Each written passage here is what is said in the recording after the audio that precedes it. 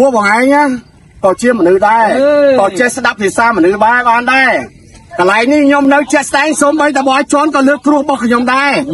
ទីតាំងរបស់ខ្ញុំបងឯងដោះស្រាយឲ្យខ្ញុំពីកាលបងឯងថាដីបងឯងហ្នឹងខ្ញុំអត់ស្លាប់មកមើលទៅអត់មានទេអឺតើបងឯងទៅមើលខ្លាំងហើយបើខ្ញុំនៅជាក់ស្ដែងហ្នឹងបងឯងនៅតែធ្វើអំពីនធ្វើមកផឹកអីឲ្យគាត់ថាពួកបងឯងអាងអីគេអាងអីគេឥឡូវសួរមើលឥឡូវយករំត្រីឥឡូវគេមើលគេមកបំពេញដល់ថ្នាក់ហ្នឹងឥឡូវឲ្យសួរធ្វើម៉េចអាញាធមមានអីមានទាំងអស់ គាត់ថាដីរបស់គាត់ខ្ញុំនៅហ្នឹងឯងហ្នឹងគាត់ទិញពីណាគេថ្ងៃ22យកមកឲ្យខ្ញុំ Chị tao người cực đẹp បាទខ្ញុំអត់យកខ្ញុំដេញទៅវិញព្រោះឯងមកខុសលក្ខខណ្ឌមិនមែនមកតែមេធាវីណាមកបួកក្រុមឡាយនឹងប៉ាមកហើយពាក់កៅអៅសូជាដីហើយយកដ្រូនយកមកបង្ហោះណាខ្ញុំសួរថាធ្វើអីគេបងបង្ហោះដ្រូនខ្ញុំគាត់លឺសូដ្រូនខ្ញុំដេញចេញហ្មងសាហាវណាខ្ញុំប្រាប់ធ្វើស៊ីខ្ញុំសាហាវ ដល់ហើយថ្ងៃ23ខ្ញុំទៅខាងអាជ្ញាធរហ្មងមួយម៉ាក់ខ្ញុំដើម្បីបញ្ចប់រឿងហ្នឹងព្រោះគេធ្វើនេះធ្វើឲ្យគ្រួសារខ្ញុំមានរឿងហ្មងហើយខ្ញុំផ្ញើជូនបងនេះដើម្បីឲ្យបងផ្ទៀងបងចាំជួយអឺធ្វើសម្លេងមួយផ្សព្វផ្សាយបន្តិចណាបងបាទជាមួយនឹងអារូបរបស់ខ្ញុំហ្នឹងបាទខ្ញុំចង់និយាយថាអ្នកទាំងអស់គ្នានេះជាមេធាវីណាសិតតែជាអ្នកមានមុខមាត់តែមានសួរថាមានយល់ដល់រាជរដ្ឋាភិបាលអត់ទេរាជរដ្ឋាភិបាលលោកខំប្រឹងណាស់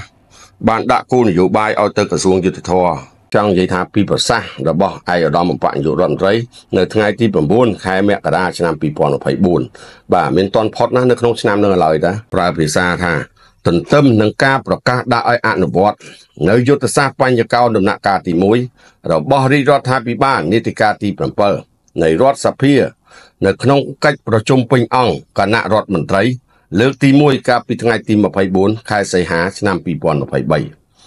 សម្ដេចបវរធិបតីនាយករដ្ឋមន្ត្រីក៏បានប្រកាសដាក់ចេញនៅវិធានការកន្លឹះចំនួន5ដែលជាកិច្ចការអតិភិបដ៏សំខាន់របស់រាជរដ្ឋាភិបាលនីតិកាលទី7 នៃរដ្ឋសភាដែលត្រូវសម្រេចឲ្យចេញជាលទ្ធផលជាក់ស្ដែងនៅនីតិកាលទី7នេះក្នុងចំណោមវិធានការកន្លឹះទាំង5នេះសម្ដេចបវរធិបតីនាយករដ្ឋមន្ត្រីបានប្រកាសយកការពង្រឹងសម្ដៅធ្វើយ៉ាងណាសម្រេចឲ្យបាននៅកិច្ចការអតិភិបសំខាន់ចំនួន3នៃវិធានការកន្លឹះទី5នេះដែលកិច្ចការអតិភិបទាំង3នោះរួមមានទី1គឺការបង្កើតយន្តការដោះស្រាយវិវាទក្រៅប្រព័ន្ធតុលាការបន្ថែមលើយន្តការដែលមានស្រាប់ ដើម្បីជួយសម្រោះសម្រួលដោះស្រាយវិវាទឲ្យបានឆាប់រហ័សជាពិសេសវិវាទរបស់ប្រជាពលរដ្ឋនៅមូលដ្ឋានខ្ញុំនៅមូលដ្ឋានខ្ញុំបានប្រើសេវានឹងផ្ទាត់ផ្ទាល់ហ្មងគឺចង់និយាយថាសេវាល្អបំផុតហ្មងជួយសម្រួលដោះស្រាយវិវាទមិនចង់ឲ្យប្រជាពលរដ្ឋឆ្លោះគ្នាទេ